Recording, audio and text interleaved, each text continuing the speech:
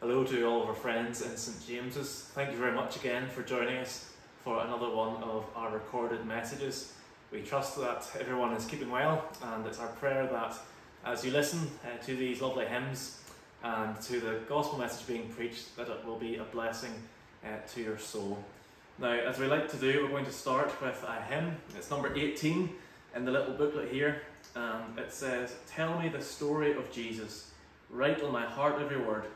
Tell me the story most precious, sweetest that ever was heard. Tell how the angels in chorus sang as they welcomed his birth.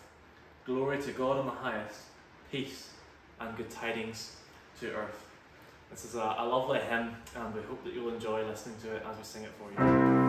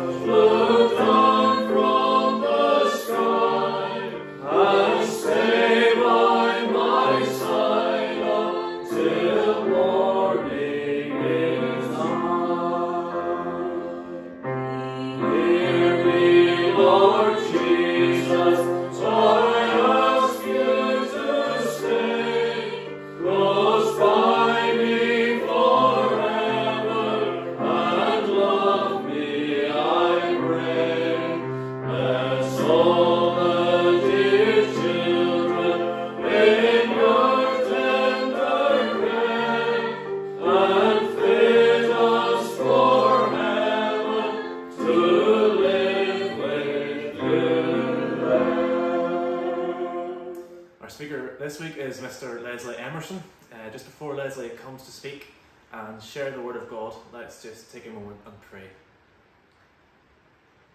Our God and our loving Father in heaven, we come into thy presence another time and we give thanks for all of thy goodness.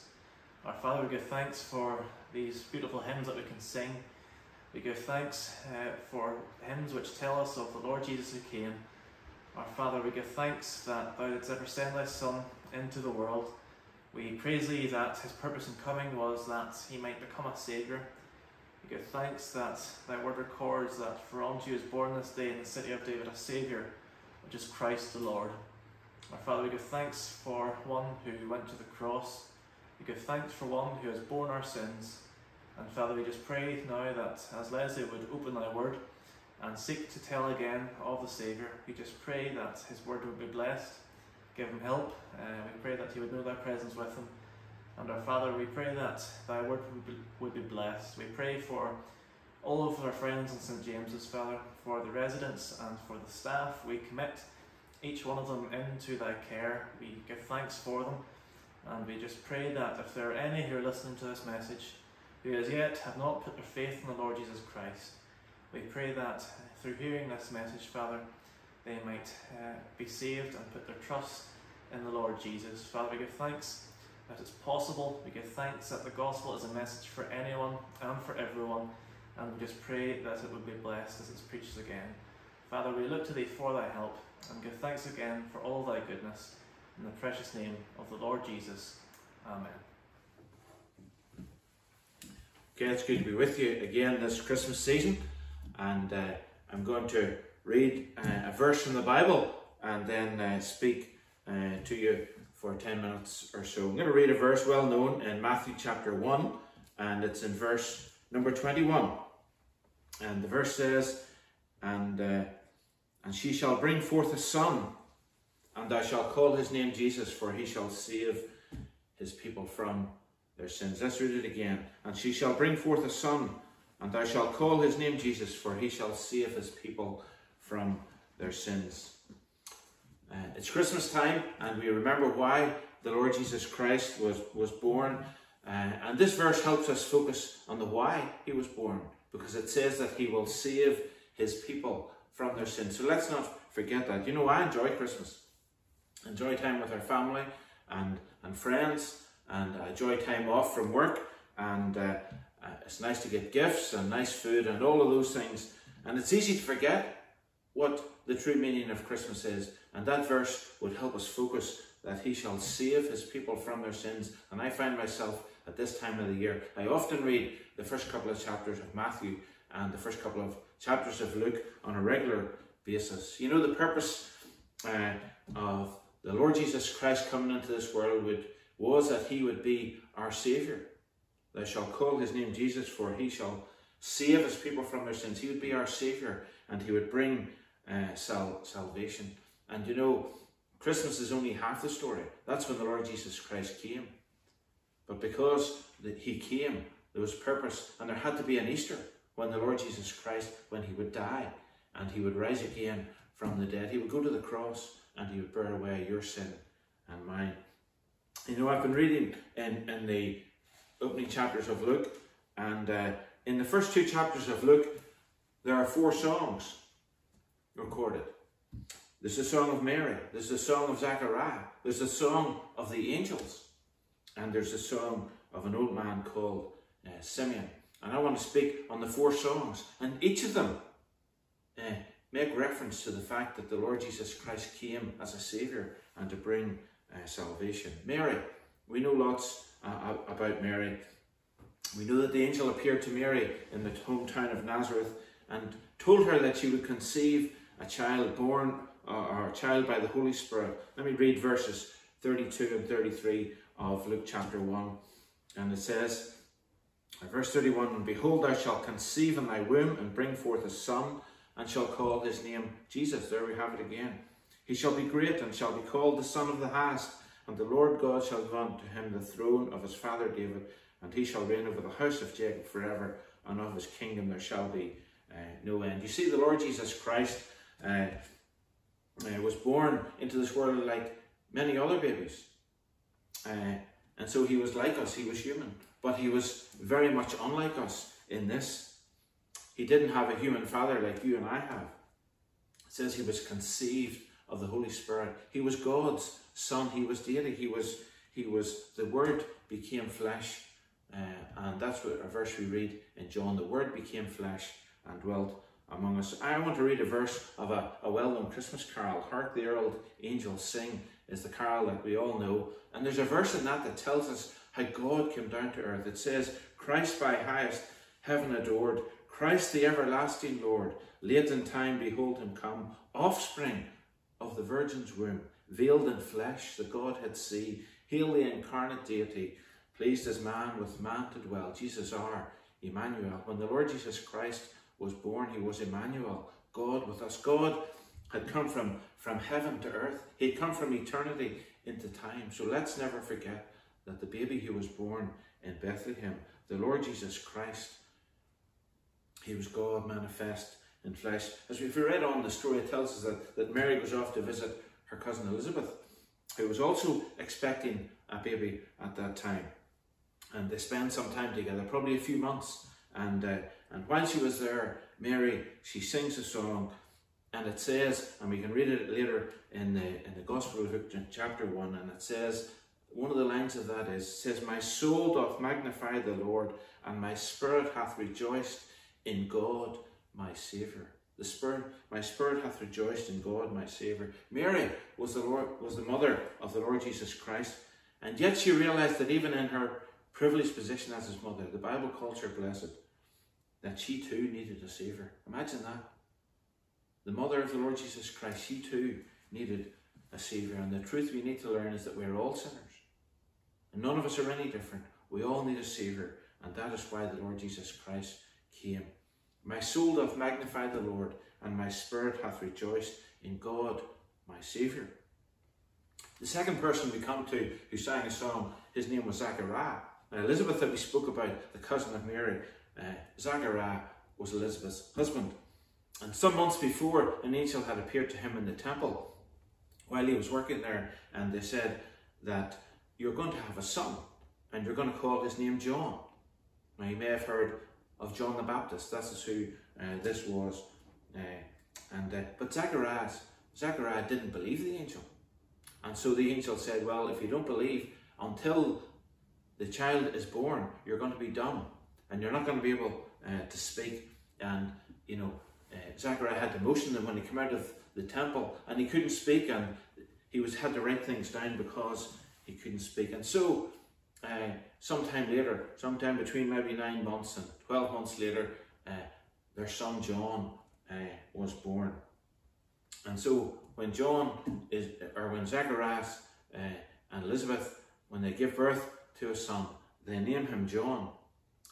And at that moment, because Zachariah had read his name, they gave him a writing tablet and he said, his name is John. They wanted to call him some something else because they said, there's no one in your family called John. Why would you call him John?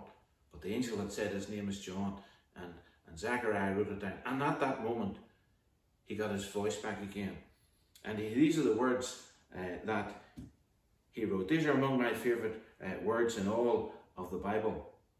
And it says that his words were, Blessed be the Lord God of Israel, for he hath visited and redeemed his people. We skip a few verses, and then it says, and he speaks about his own son. He says, And thou, child, that is John, shall be called the, prophet of the highest, for thou shalt go before the face of the Lord to prepare his ways, to give knowledge of salvation. There we have it again. Unto his people by the remission of their sins, through the tender mercy of our God, whereby the day spring from on high hath visited us. The title of the Lord Jesus Christ, the day spring uh, from on high. You know, it says that he, he came to visit us. You know, uh, you know, we all go to visit places at times. Sometimes we go to visit on our holidays. Sometimes we go to visit friends. And maybe at Christmas time, uh, you leave the home and go to visit some, some of your relatives or friends and, and you'll enjoy being there. You know, there's always a, a purpose for why you go. And the Lord Jesus Christ, when he came to this earth, uh, it tells us that he came uh, with purpose. You know, he knew that he would be born into a poor home. He knew that he would become a carpenter working with his father. He knew he would live among ordinary people, and he knew that by and large he would be rejected. It says that in John's Gospel, we, we read that he came unto his own, and his own, that's his own people, and his own people, they received him not. Imagine that, the Lord Jesus Christ coming into this world uh, to, to love us and to give his life for us, and by and large he was rejected. He came as the fulfillment of God's promises, and he was Christ, uh, the Messiah. You see, the Old Testament wrote about the Lord Jesus Christ that he would come and he would come into uh, this this this world that we live in. You see, the whole the Old Testament was full of those uh, prophecies that said that there was one who would come. And when the Lord Jesus Christ was here on earth, one day when he was in his 30s, early 30s, he went, went to his hometown, Nazareth, where he had been brought up. They knew him there. He had been a carpenter there. He went to school there. He went to the synagogue there. And this day he went into the synagogue and they handed him the scroll. Uh, they didn't have Bibles like we have nowadays. They had scrolls. And they handed him the scroll in the place where it was opened was in the book of Isaiah and chapter 61. And this is what the Lord Jesus Christ he read. He says, The Spirit of the Lord is upon me, because he hath anointed me to preach the gospel to the poor. He hath sent me to heal the brokenhearted, to preach deliverance to the captives, and recovering of sight to the blind, to set at liberty them that are bruised, bruised, to preach the acceptable year of the Lord. You know, and he said, This day is the scripture fulfilled in your hearing, and yet they rejected him. And there was only a few who would accept the Lord Jesus Christ uh, when he came. You know, just before he went to the cross, it tells us in Luke chapter 19 that one day he went out over the city of Jerusalem and he wept. Why did he weep? Because they had rejected him, even though he had shown them love and concern and had come uh, to forgive their sins. Remember, it says in those verses that we read that, the, that he had come, the Lord had visited and redeemed his people. He said that day, the people, in their rejection, it says that they knew not the time of his visitation. They didn't recognize and acknowledge that the Lord Jesus Christ had come uh, for them. And so we have Zechariah and his son. Then we have the angels and the heavenly hosts. You know, the first people to learn of the birth of the Lord Jesus Christ were the, were the shepherds. Were minding their own business and, and taking care of their sheep. And maybe were lying down for the night uh, to go to rest. And all of a sudden the sky filled up and uh, there was angels and says that they were afraid. Oh, I think you would be as well. And I would be if all of a sudden uh, we got a heavenly visitor in the night sky. And, uh, and of course, the angel said, Do not fear. And here's what the, the angel said. We can read it in Luke chapter 2 and verse 10 uh, and 9, 10 and 11. Fear not, for behold, I bring you good tidings of great joy, which shall be to all people. For unto you is born this day in the city of David a Saviour, which is Christ the Lord. Verse 13 14. And suddenly was with the angel a multitude of the heavenly host, praising God and saying, Glory to God in the highest, and on earth peace, goodwill toward men. Great joy to all the people. Why? Because a Saviour is born. You know, the first people who heard the good news about the Lord Jesus Christ being born were humble shepherds. It wasn't those who lived in palaces, and it wasn't the great religious leaders of the day. It was humble sh- shepherds. And that tells me that salvation is for all men. Humble shepherds 2,000 years ago, and you and I, who live in Ballymoney in Northern Ireland in December 2023, salvation is for all men. And the good news that the Lord Jesus Christ was born wasn't just for that day, it's for all time and stretches down now and throughout all eternity that God loves each one of us and the Saviour, the Lord Jesus Christ, uh, came uh, into our world for all men. I wonder, as we approach another Christmas day, do we rejoice that the Lord Jesus Christ came as our Saviour? So we have the song of Mary, of Zechariah, and and the uh, uh, the angels, and the heavenly host, and finally we have Simeon. We're not told that Simeon, uh, we're not told his age, uh, but we we can, uh, from what we read in the Scripture, we believe he was an old man and that soon he would die. seems that he spent quite a lot of his time in the temple, and he was one uh, who, who, who knew the Old Testament scriptures, and he knew that written in the Old Testament scriptures were the promises that God would send a Saviour, a Messiah. You know, there were very few people who were expecting the Lord Jesus Christ to come, but Simeon was one of them, and he seemed to live his days in the hope and the, of the promise of the scriptures of the Old Testament that the Lord Jesus Christ would come. He, he had studied the scriptures and, and, and God had said in his word through the prophets that one would come. In fact, uh, God had told him, I don't know whether through a dream or some other way, God had told him, you know, Simeon, you're looking for the promised one. You're not going to die until you see him. And so, uh, you know, he didn't know the Christmas carol because it wasn't written then, but he could, if he had known it, he would have sung it. It says, O come thou dayspring from on high, and cheer us by thy drawing nigh. Disperse the gloomy clouds of night, and death's dark shadows put to flight. Rejoice, rejoice, Emmanuel shall come to thee, O Israel. You know, Simeon was looking uh, for the Lord Jesus Christ to come, the promised uh, Messiah. But one day into the temple comes Mary and Joseph, and with this little baby, and Simeon just knew at that moment, this is the one. And then he says, here's what he says in his song. He said, Lord, Lord, now lettest thou thy servant depart in peace according to thy word. And Simeon was saying, Lord, I can die happy now. I've seen the one. And he said, For mine eyes have seen thy salvation. There it is again in his song. For mine eyes have seen thy salvation, which thou hast prepared before the face of all people, a light to lighten the Gentiles and the glory of thy people Israel. That covered everybody, the Jews and the Gentiles. For mine eyes have seen thy salvation, and it tells us uh, that that he praised God.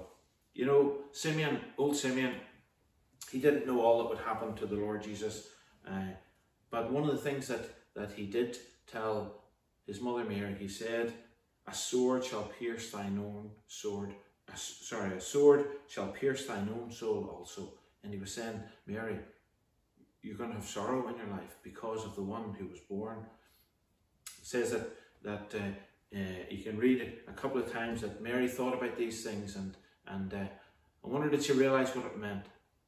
You know, fast forward 33 years, and the Lord Jesus Christ is hanging upon the cross, and Mary is there, watching her own son die upon the cross. I'm sure she thought of the words of Simeon that day, a sword shall pierce thine own soul also. What sorrow it was for, for Mary uh, that day to watch her own son die upon the cross. But that was the price of salvation. That's what it took uh, for, for God to save any one of us. The Lord Jesus Christ, He had to go to the cross and He had to die and to bear away your sin and mine. What a journey the Lord Jesus Christ took from heaven to earth, from eternity into time, and what it would mean for Him uh, to go to the cross and there to bear away your sin and my sin. You know, I want to quote a, another hymn, a verse of another hymn. It's not a Christmas carol, but it it uh, it just helps us to understand something of the great love of God and of the Lord Jesus Christ for each of us. Behold a man upon a cross, my sin upon his shoulders. Ashamed, I hear my mocking voice call out among the scoffers. It was my sin that held him there until it was accomplished. His dying breath hath brought me life. I know that it is finished. And so we have the Saviour who would come via the Virgin's womb uh, to visit earth with purpose, to go to the cross and to provide salvation for all men, for you, for me. What about each of us, you and me? Have we welcomed the Lord Jesus Christ as Simeon did? Have we rejoiced as the shepherds did? And have we acknowledged him as Saviour as Mary did? I do trust that as you think of the Lord Jesus Christ at Christmas, you'll remember that he came as a Saviour and he came to bring salvation for each one of us, for me and for you. Thank you, and I wish you a happy Christmas. There we are.